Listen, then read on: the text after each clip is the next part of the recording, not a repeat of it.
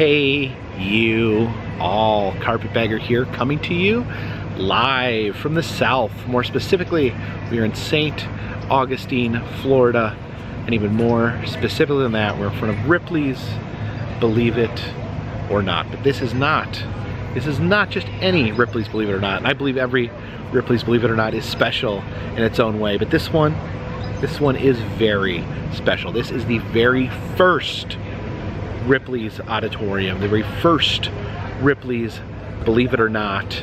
It was not built, or not, not, not implemented, not founded until uh, Robert Ripley actually passed away. This was, it used to be a hotel here in St. Augustine. This was the, the hotel where all the bigwigs, the famous people stayed at when they visited St. Augustine. Robert Ripley himself would stay here when he would visit the area and it was called either the Warden Hotel or the Warden Castle. And Robert Ripley apparently was was obsessed with it. He wanted to own it, and he actually attempted to buy it several times. Um, they turned him down. They would not. They would not sell him the castle. However, he died in 1949, and I don't know if they just felt bad for saying no so much, but his family, his estate, was actually able to purchase the uh, the Warden Castle here and uh, they turned it in homage to Robert Ripley, the life he spent traveling the world, collecting strange items, writing about strange items and strange experiences. They, they made this the very first Ripley's Odditorium, the very first permanent Ripley's exhibit, and it is still open today. So in some ways, almost the flagship Ripley's. It is the first. I think technically the Orlando one's the flagship because uh, the Ripley's Corporation is actually based out of Orlando, but this is just two hours north and an absolute, uh, absolute amazing replica. You know, a lot of the Ripley's, they have like really unusual buildings, like like the one in uh, Gatlinburg is, is made like the woods, got the giant trees. Um, the one in uh, Orlando is in a sinkhole. The one in Branson looks like it's coming apart from like it's falling apart from the, the giant ball of twine smashing through the top. Uh, the one and then uh, Panama City is a boat. There's a lot of interesting motifs. But this is this one, while not as flashy not as interesting, just has a, an amazing amount of history. This is a, a hotel, a castle that Robert Ripley himself, as, long as, as well as other dignitaries and famed people that came here through the St. Augustine area, stayed here at this castle. You can see they have the uh, sightseeing tour bus here out front. But yeah, I love this Ripley's, and of course, whenever I'm in an area, whenever I stop in an area, I like to check in and see what's new at the local Ripley's. So please, follow me. And I do apologize if I talk a little fast or move a little quickly through the Ripley's. They close in a little less than an hour. This Ripley's actually get closes a little earlier than most Ripley's. A lot of Ripley's will stay open late into the evening. This one closes at 5 p.m. on the dot. So uh, I want to show the whole thing, but I will uh, I will maybe make it a little more brisk than usual trip through uh, through the odditorium here. So we enter the lobby here greeted by this silverware mermaid. You can see her skin is actually all butter knives. Looks like she's primarily made of butter knives. I actually don't see any other silverware except butter knives. So more like a uh, butter knife mermaid. Car part sculpture of Jack Sparrow. Looks very heavily armed there. But uh, we have the Gurning Man inviting us in to the museum under this candy portrait of Elvis. It's pretty amazing wood sculpture here. There's the crocodile or alligator down there. Got an elephant spraying some wooden water through the air. Yeah, this is incredibly, incredibly intricate here. This is the original Castle Warden marble fireplace here. But instead of a fire, they have a clamshell bathtub so they would ba bathe babies in the giant clamshells. And up on the mantle, we have a four-horned sheep, the four-horned Jacob sheep, and then a, uh, a lamb here. The, so this is just a malformed lamb, but it looks kind of like a half lamb, half rabbit, It's pretty interesting. All right, from here we head up the stairs of the old hotel. This is the clothespin clock made entirely out of clothespins. It was interesting to see things made out of interesting things. And then here's a photo of a world record attempt that took place here. It says uh, the uh, largest wedding vow renewal. So they had, I guess, a, a wedding vow renewal up here. All these couples up here, all onlookers watch from the parking lot. Sounds really noisy up here.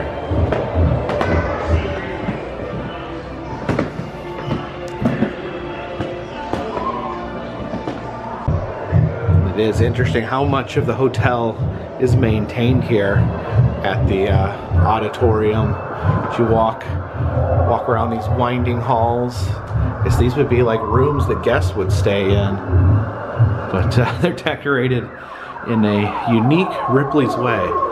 Oh, are we shrinking?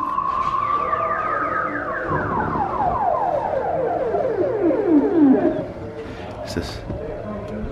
Okay. It's a tiny door there.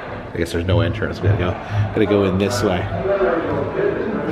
Here, in this box, we have a genuine Fiji mermaid. It's one of my favorite artifacts. I'm just fascinated with the Fiji mermaids. You look closely, you see it's got little bits of hair, a little beard, a little bit of head hair there, even a little fuzz there on the fishtail. Now these were um, made as gaffs or you know a fake piece of taxidermy out of uh, they say they were made out of a monkey and a fish.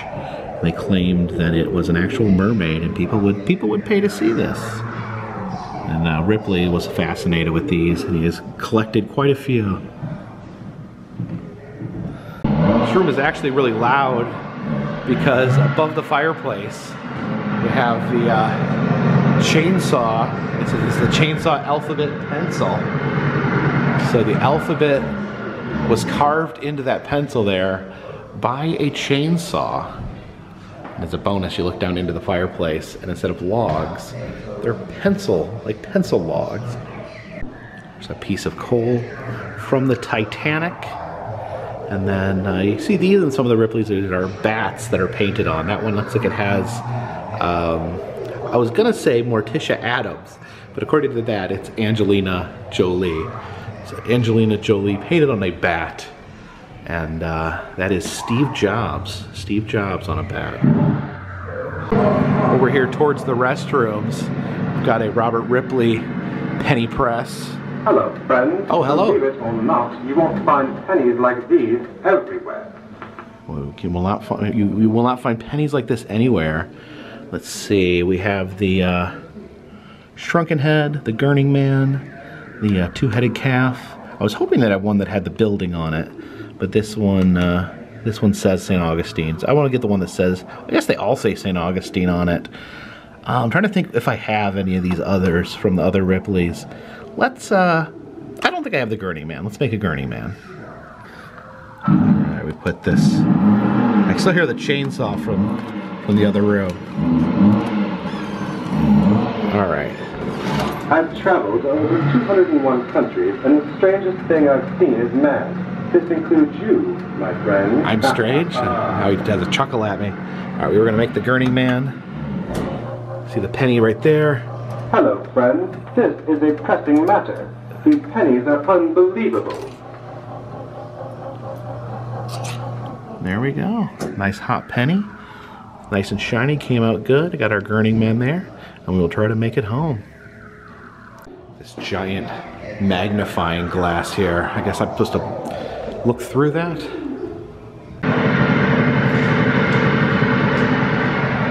Magnified? Look at a giant head or something? These are cockroaches painted to be famous musicians. Not sure what this one in the front is. I think that's Jimi Hendrix as a cockroach right there. I don't recognize anyone. Leave a comment in the comment section. Do you recognize who this cockroach is? Alright, this is the, the throne, the throne of love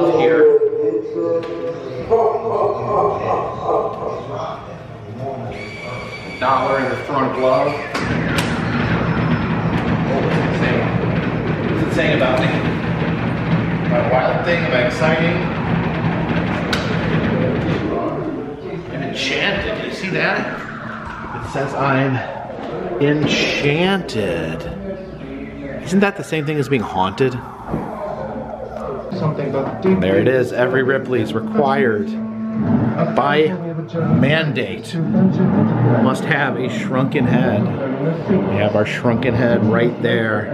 A real human head, skinned, made tiny. Some other heads here. These are ancestor heads, decorated skulls from New Guinea.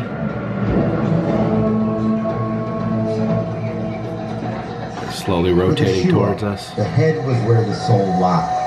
I do find it interesting. They still have all the doors everywhere, like different hotel rooms. I don't know. I guess it's just storage. I don't know what's in there. But uh, what's in here? Oh, the Iron Maiden is in here. The legendary torture device. The Iron Maiden of Nuremberg. Is it? Oh, there it goes. There it goes. I was wondering if it was going to do that. Demonstration. Oh, what's that? There's a ghost. There's a ghost in the Iron Maiden. I was not expecting that. The mouth pegs are removed Your wall of torture here. All sorts of unfun things can be done to the human body. It's a torture mask. It's just a mask that is just no fun to wear. Like I said, the holes are small. You can't see it. It's heavy. It's embarrassing. There's thumb screws for torturing your thumbs. There's a scold's bridle. It's a mask that you'd put on a gossiping person and uh, you see in the mouth there, there's actually an inner part that sticks in your mouth to keep you from gossiping or talking or existing in any sort of comfortable manner. It's a English man trap, in case you need to catch a man. That's your go-to right there. This is a Persian flail. That's just for hitting people. So is this an original sign from the Ripley's in Ocean City, Maryland? I've been to that Ripley's as well. It says gaze at the mummified monk. Just one of the many scenes recreated from Ripley's world famous cartoons. Where is is is the mummified? I don't remember if the mummified monk is still in Ocean City. Does anyone know where that what Ripley's the mummified monk is at? I'm thinking, and I don't. It's not popping out in my brain immediately. There's Ripley's Eat It or Not. Instead of Believe It or Not, it's Eat It or Not. Yes, you order here. You see the gentleman there eating, eating a spider taco. Delicious spider taco there. And then over here there is, that is a fork, cannibal fork used for eating fingers. I've heard of finger food, but you know, that seems a bit much. Uh, there's a bowl made of a human skull. You can feast out of the skull of your enemies. And then that back there is a bone sharpened into a dagger, a human bone to be more precise.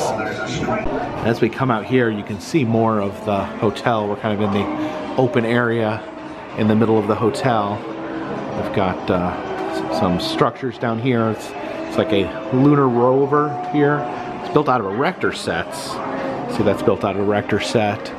And then a uh, Boba Fett on wheels there.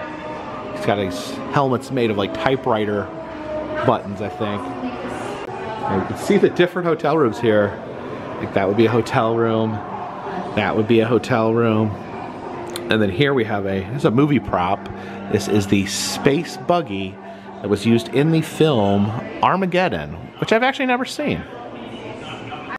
This is the Bubble Boy vehicle. I remember vaguely from the 80s, Bubble Boy was a boy with no immunities that actually had to live in a bubble. And this device, I guess, could transport him. I think the bubble would expand over top of this and he could wheel around in the safety of his bubble. I haven't started uh, collecting these medallions yet. Me and Adam noticed these medallions the other day at Disney that they sell them there. And these are a little more expensive. It's four for $15, a lot more expensive than the pressed pennies. But they're pretty cool. They have the different, they have Yang, the uh, Unicorn Man there.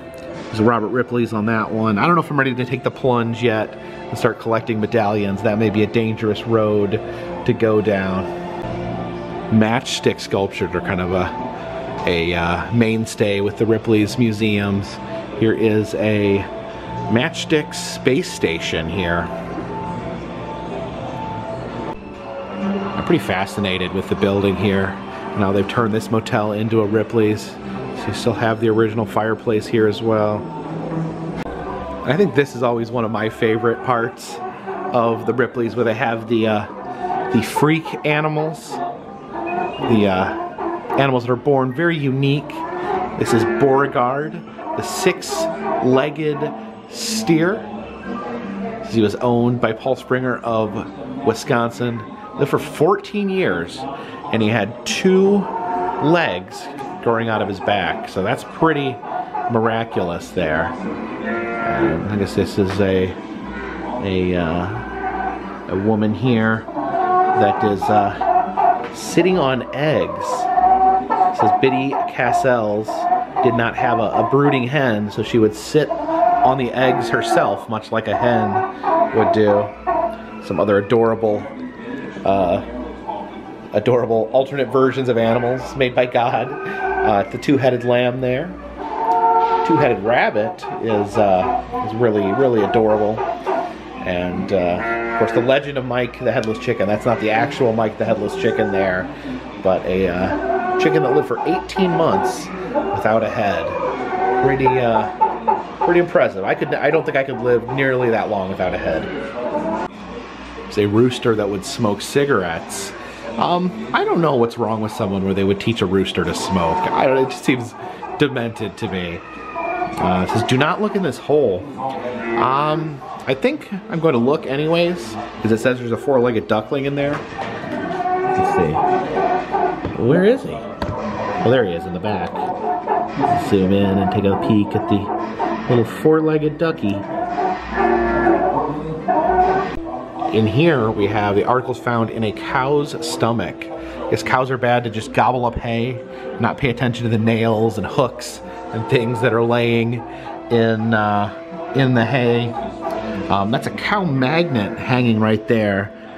It says uh, these keep metal object from passing through the digestive system. So what do you do with a cow magnet? Do you like, oh, okay, you feed it to the cow, so you get the cow to swallow a magnet so it holds everything else in place. How do you keep them from pooping out the cow magnet? And you can see this is a fence here that a tree naturally grew around and became part of the fence. And here we have the largest known feline hairball there. I that is like bigger than a cat's head. I don't even know how a cat would have that in uh, in their body. And no matter how many Ripley's I go to, no matter which different Ripley's I check out, I can always count on the fact that there'll be all 8 foot 11 of Wadlow here looking down on me. Is uh, Walter Hudson. He was the uh, 1,400 pound man and then we see one of his one of his uh, direct opposites here. This is uh, Edward Hagner, known as the Skeleton Dude. He uh, he only weighed 48 pounds, one of the thinnest men that ever lived. Just interesting, us as a human race, and what variety we have uh, between us all. And the man himself, Mr. Robert Ripley, gave us a uh, smash penny earlier on, greets us to this room, and this room here is just full of the different Ripley's characters, the true life characters, the different uh, strange people featured in Ripley's.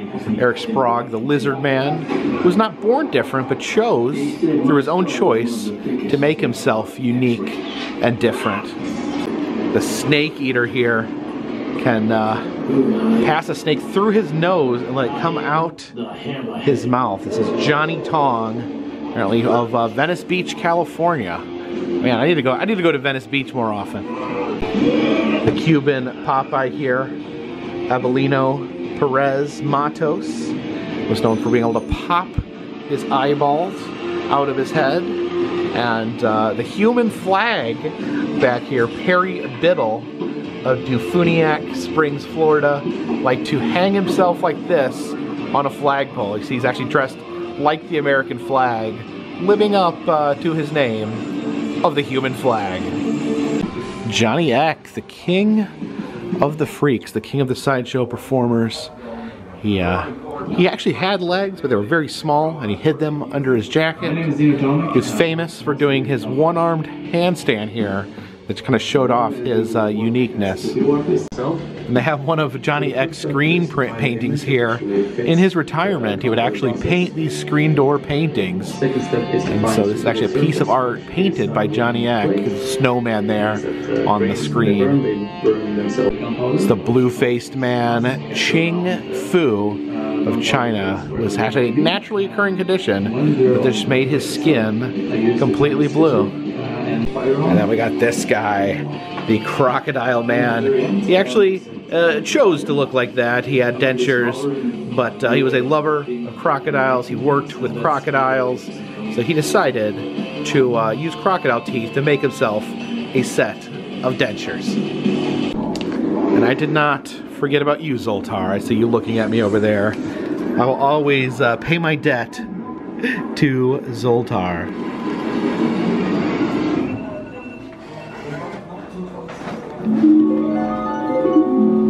Zoltar the Gypsy at your service. Ah, today is your lucky day, my friend, for I have a fortune especially for you. Especially for me? Closely. I'm listening. Sometimes you can tell a wise person not only by what he says, but also by what he doesn't say. Remember, it is much better to say little than to say too much and regret it later. Give Probably Zoltar true. your treasure. I already have gave you some treasure. to share with you. We pass back through the center room. I think we are headed upstairs. Oh, we don't wanna, we're gonna check out the Tibetan ram skull there. The uh, cassowary bone dagger, made from a cassowary there, a very scary looking, uh, scary, scary looking bird. This is Irit headhunter's knife, which I guess, you know, we see a lot of shrunken heads, but those heads have got to come off those bodies some way.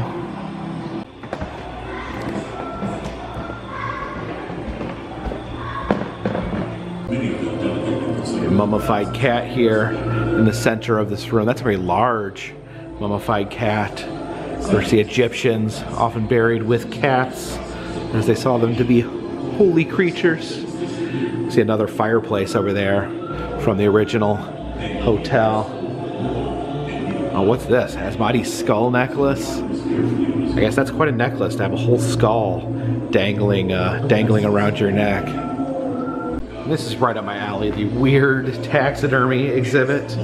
Have the fishing squirrel. See the squirrel there? I don't know if he's fishing for acorns or he's fishing for that apple. Actually, if you look under the leaves, there's actually an animal trap there.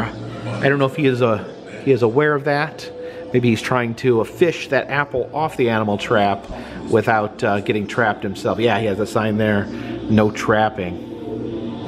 There's a two-headed parrot there. Wow. There's a conjoined Siamese kitten. So it's a stillborn, two kittens that are actually connected. But they've given them a little yarn, a little milk to enjoy in their uh, taxidermied state. Oh my goodness, that eight-legged puppy there. Siamese puppy. And he has a little fire hydrant in there with him. So this lion here, this vicious lion, was actually brought back from Africa by Ripley. It said that it's possible that Ripley shot it himself on a hunting expedition, or maybe someone else shot him and then gave the the past uh, lion to Ripley. But yeah, this is actually one of Ripley's personal items. That's pretty pretty interesting. Pretty pretty amazing. That was actually, you know, something that Robert Ripley himself handled. See a portrait of a lion here. And you look closely, it's all these different little plastic toys in there. Different animals comprising the mane. You even got SpongeBob there. in that mane. And I really like this. There's a tortoise impaled with a hippo tusk. So a hippo tried to chomp our tortoise here and it missed everything important. It went through the shell, through the shoulder. Somehow the tortoise was just fine. Huh. I guess he walked, walked around with a hippo tooth embedded in his body the rest of his life, showing all the other turtles how tough he was. This is a snow owl, but it was actually not a living snow owl. Apparently this was recreated using chicken parts. So you take the materials from one animal and use it to create another. Here's the lip disc woman. Place the, uh, the custom of placing the, the, the discs within the lips. It's very interesting. It's just interesting what people do culturally you know, obviously that would impede your day-to-day life to some degree, but uh, you know, it's important enough culturally to them to uh, keep with the keep with the custom. Oh, I spotted him. Spotted the the camera guy taking a picture of his girlfriend here. Let me just slide by here. Don't mean to. Oh, sorry, got in the way. Didn't mean to interrupt. And of course, it's just a camera. You can take another picture here. Just just hold that pose. You look very nice take a photo of this uh, this beautiful young lady here. Actually on the second floor here, kind of looking down into that main open area. And up here, this is the Bad, bad to the Bone motorcycle. A motorcycle made out of different bones from different animals. You can see the whole cow skull there on the body, an alligator skull there on the front. I don't think it's functional, but pretty cool. Walk, walk past these doors here. Oh, some cosmonaut space food there on the wall. Sure that was delicious. Walk around the balcony here. Oh, there's the International Space Station made out of matchsticks. That's very impressive. It's one of the biggest matchstick sculptures I've ever seen. The space shuttle there made out of uh, computer keys and how tall Ripley's versus Star Wars characters. says Chewbacca is five six or seven six. Robert Wadlow, eight foot eleven, because no one is taller than Wadlow. There's some Star Wars art there. C-3PO made out of old computer parts. Got a AT-AT or AT-AT there, made of computer parts. These are crayons that someone carved Star Wars characters in. You can see little Yoda, Ewok there, Chewie. Pretty fun. So this is a million dollar man, a sculpture made out of shredded money. I think it's a million dollars of shredded money used to compose this figure here. The moose poking his head out there. I, I was thinking, this, I, I thought the moose maybe talks. Do you talk, moose? Maybe he doesn't talk anymore. Not gonna talk? Okay. You sure? You sure? Okay, he's he's not talking today. And here, this is the human candlestick. Says this the Chinese monk requested his body be mummified and used to enhance the temple. So they just took his his his remains, his mummified remains, stuck a candle in his hand and said, you can be a candlestick. Just hold this candle forever since you're dead. Yeah, I love all the old fireplaces still here in the building. And a mysterious chest that says open if you dare. And I always dare. Blood curdling. Tomb of the Werewolf. See a skull there. It is. Well, there's a dial. A dial down here. Let's turn that dial.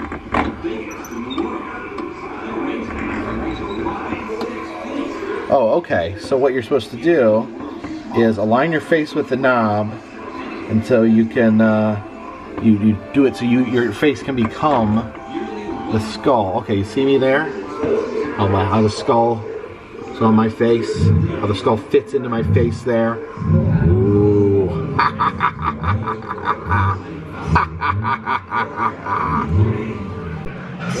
and here is the long-necked woman. We saw the the lip ring woman earlier. Here they would wrap that coil around their neck and it would make their neck longer. Well, technically, actually, here's a, here's a fun fact. It did not make their neck longer. It actually pushed their shoulders down. So their neck stayed the same size, just their shoulders were shoved downward. They're inviting us to climb up on this platform here. Florida's backyard beasts. What sort of beasts are in this swamp? Oh, jeez. Gosh. How did that get me? Here's a, oh, as you're going back up here. Yeah, you see the, the gator down there. There's some snakes. And over here, this is a Burmese python strangling a wild boar. That's pretty wild. Let's get off this platform before it collapses again. Oh, I actually saw this item. It was used to be in the lobby of the Ripley's uh, Ripley's warehouse. This was a shoe swallowed by a crocodile. This happened in St. Augustine at uh, the, the St. Augustine Alligator Farm. Uh, someone's shoe fell off from a zip line was swallowed by a crocodile and they had to have a veterinarian reach inside the crocodile's mouth there to extract the shoe. And there you see it. A little, a little worse for wear, but still, you can probably still wear that. More spooky, spooky skulls there. Think of all these spooky skulls. This is the spookiest. Says this is Zane Wild. He's an artist who creates these skulls. Yeah, these are pretty, pretty amazing. Pretty, it's a chilling look. Yeah, look at these skulls. It looks like from here we're headed back down.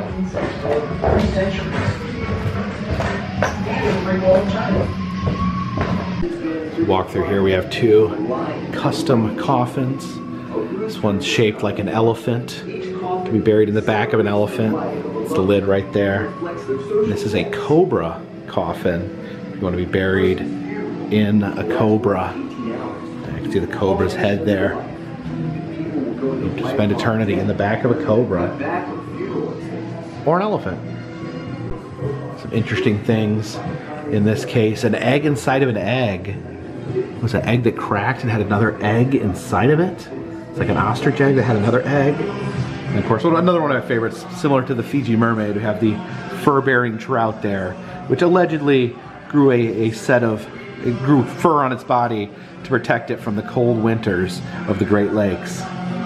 See the two-headed calf there? So it was impressive to see the skeleton and see how they connect. And then a human hair vest, which that's just pretty gross. I probably would not want to wear that. What's happening in here?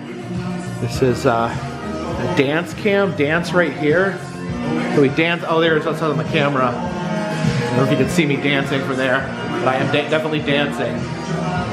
Random piece of movie history, Godfather mouth prosthetic that, uh, that uh, what's his name? Marlon Brando. Marlon Brando wore that prosthetic there to make him look like that. We have a piratey shooting gallery in here. So we'll grab uh, this here. I've been getting a little better at these recently. Oh, this one's hard. Oh, I, I just said I was doing better. And now I'm like doing terrible. There he goes, eyes lit up when I did that. Oh man, I almost had shots. There we go, it's a giant rat in the treasure chest. Come on, skeletons, I want to animate you. There we go, got him to turn his head. Got nine more shots. There we go. Getting a little better, picking it up here. Let's see who's in this barrel.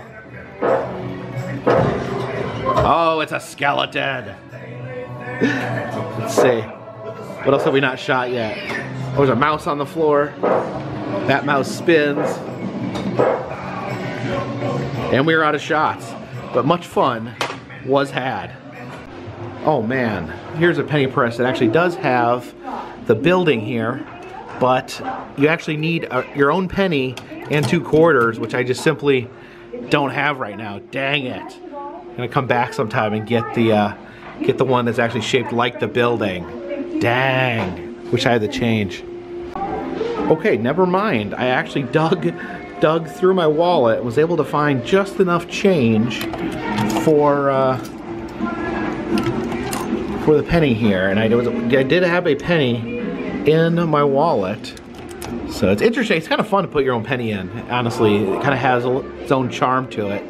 But we want this one. Okay, we insert, pull out, and then we want this one. And here it goes. Oh, you can hear the penny being crushed there. It's got an old school penny crushing machine. And there we go. I love it. It's got the uh, the building on it, the Warden Motel. All right, I think it is time to exit through the vortex tunnel. Ooh.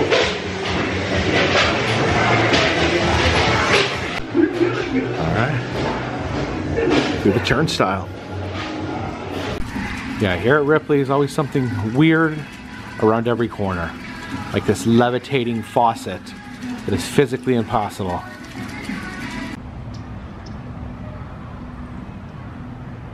We have kind of a bonus attraction out here in the parking lot.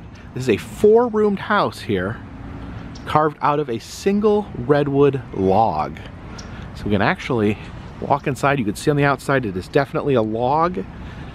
And somehow they managed to put an entire house in here.